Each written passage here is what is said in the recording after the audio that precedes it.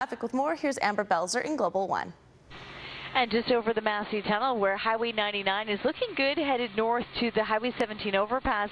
And as you come underneath that, it slows down a little bit as people move over into the counterflow lane. The regular lanes are slow from the Highway 17 overpass headed north towards the Massey Tunnel, but looking good as you make your way southbound. Only a slight slowdown just by the Steveston Highway overpass. In your mind, you're already here, enjoying unforgettable year-round adventures in Penticton, Thompson, Okanagan. Super Natural British Columbia. Plan your stay and win flights at alreadyhere.ca. I'm Amber Belzer, Global One, high above the Massey Tunnel.